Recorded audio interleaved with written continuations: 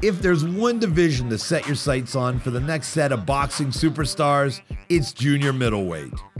The depth of the division isn't just found on the various sanctioning body peaks, it's also among the young guns biding their time, waiting to fire off their kill shot in the quest for boxing big games. One man who has put his name front and center in the discussion of the best at 154 pounds is brand new IBF champion Swift Jarrett Hurd.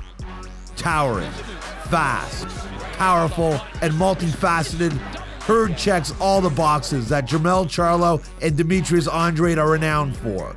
And like his more celebrated young peers at 154 pounds, Hurd's versatility is underscored by a thudding power and an ability to utilize it from a distance or in a phone booth. Take his recent title clinching effort over Tony Harrison. It was an inauspicious start for Hurd, with Harrison taking it right to him from the opening bell, hammering Hurd with shots from in close. Hurd stood his ground, perhaps too bravely, eschewing his natural height and reach advantages. After weathering some more effective shots from Harrison, Hurd eventually began wearing Harrison down with his own volleys from in close. After turning the tide against a still game but clearly fading Harrison, Hurd struck Pater with a crunching right to the chin, ending matters for the evening and beginning what Hurd hopes to be a lengthy reign at the top.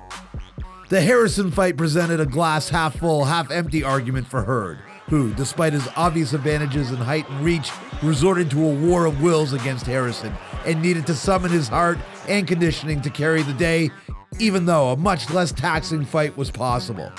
As a fan, it's a great sign knowing that Hurd is a hard on the sleeve warrior in the mold of the late Diego Corrales.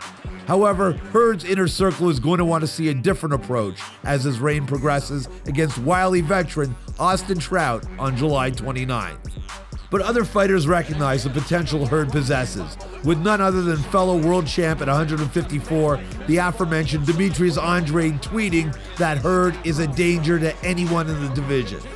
High praise from a legit player, one who knows quality when he sees it, and one who recognizes that any lengthy stay at the top at 154 pounds will eventually include a date with the division's danger man, Swift Jarrett Hurd.